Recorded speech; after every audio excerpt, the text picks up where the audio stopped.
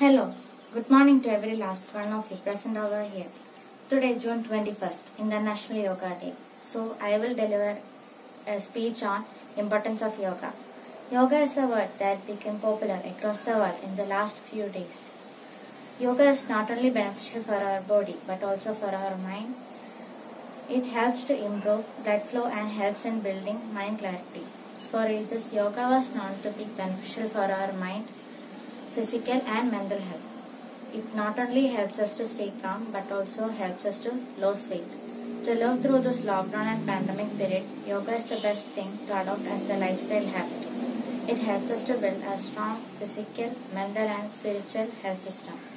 When combined with breathing and meditation, it acts as the best element to take care of our mind and soul.